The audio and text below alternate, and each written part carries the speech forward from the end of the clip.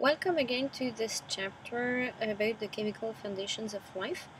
Today we will cover uh, lipids among organic molecules and their various forms, so fatty acids, triacylglycerols, phospholipids, and steroids. So the basic unit of fats is called a fatty acid. It is a molecule that is relatively long. It can have various lengths because you have various types of fatty acids, but it always has the same structure. So as you, as you can see on the picture on the right, there is a head indicated in red that is uh, made of a hydrophilic uh, part. It is called a carboxylic acid because it has a C O double bond and O minus and uh, this can capture or release a hydrogen uh, proton. So this is why it is called a carboxylic acid. And below that what is represented in black is a long hydrophobic hydrocarbon tail. So you see they're only made of carbon and hydrogen atoms, no oxygen there, so there is no polar molecule, it is totally neutral, so it is why we call that hydrophobic. It is a part of the molecule that will repel water, while the head itself will be able to attract water or to interact with water. So because it has two sides, one side that is able to interact with water and one side that is unable to interact with water, it is called an amphipathic molecule and uh, this has particular properties that we will cover a bit later. Uh, note that the hydrocarbon tail can be fully saturated like what is shown here on this picture. It means that every carbon has four bonds occupied with either another carbon or a hydrogen atom. So there is no free space to add other hydrogen atom. It is at full saturation. It can also be sometimes partially saturated, so it means that some of the carbon atoms don't have um, the, the full number of hydrogen they could have, and they form double bonds between the two carbons side to side, and still have room for a hydrogen atom if it comes in the area. Uh, what is different between saturated and unsaturated fatty acids is that saturated fatty acids have a very straight tail, as we just saw, of uh, made of CH2 molecules.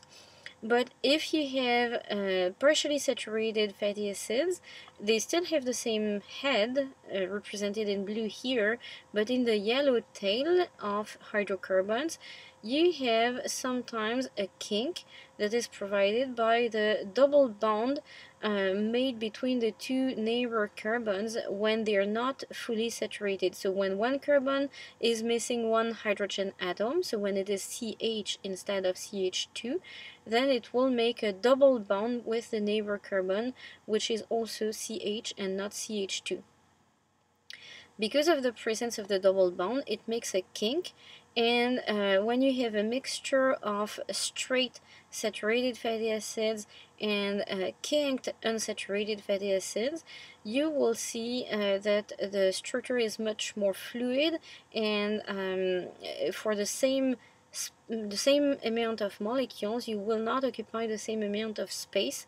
So basically fatty acids that are made of a mixture of saturated and unsaturated fatty acids are more flexible or, and they occupy more space and they are uh, more fluid. I said that uh, fatty acids are uh, the basic units of fats. In fact, most of the time, fats are found under the form of triacylglycerols or triglycerides, as you may have heard. And uh, they are a combination of three fatty acids that are linked together by the mean of their carboxylic heads uh, with a glycerol backbone. So as you can see on the picture here, there is a glycerol, it is a, a sugar alcohol that is uh, represented in orange on the picture and this glycerol will be able to combine with one fatty acid on each of its OH groups. So in total, three fatty acids. The fatty acids represented here in green um, can be saturated or partially saturated.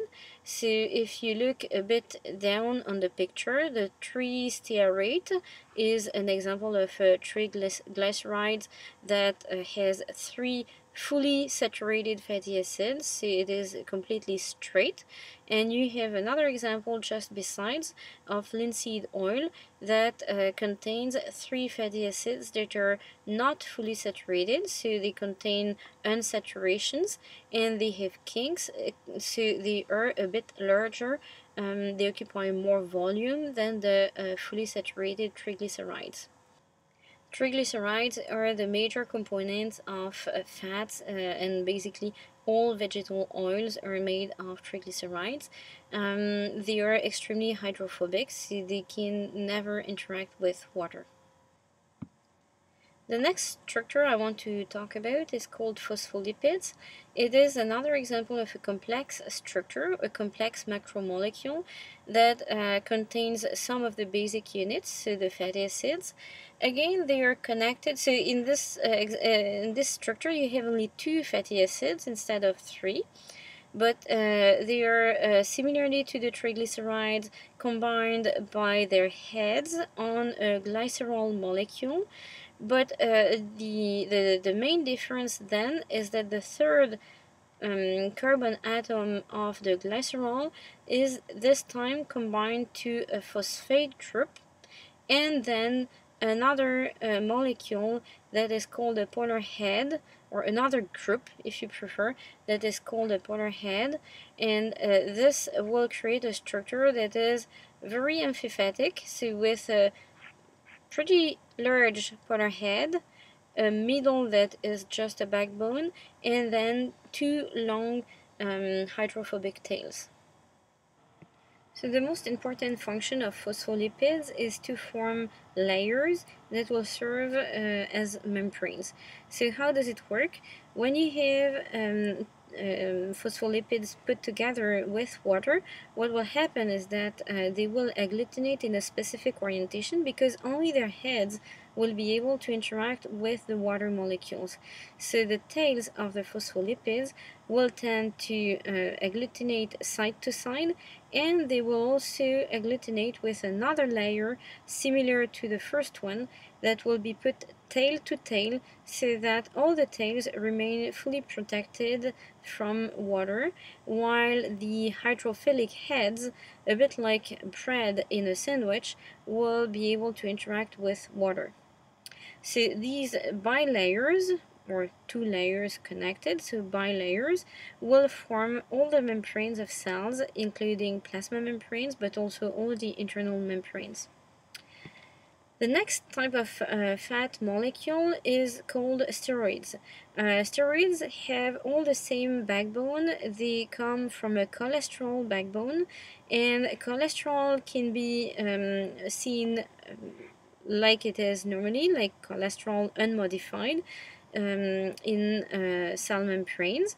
It is an important component of uh, the fluidity of the membrane and uh, it can also be seen as a modified molecule of cholesterol and uh, this modified molecule will serve as a precursor for steroid hormones so the most well-known are probably testosterone and estrogen molecules, but you can have also other steroid hormones that are made uh, based on the cholesterol backbone. It is also possible to see other uh, types of signaling molecules based on the steroid uh, structure in plants, and uh, they all have a signaling function. So if we summarize what we've seen today and uh, the localization of lipids in cells, here uh, is a picture of uh, fat cells, fat cells that are involved in the padding of organs, in their protection, their insulation um, against uh, temperature changes, and it is also a mean uh, for storing a lot of energy in a very small space.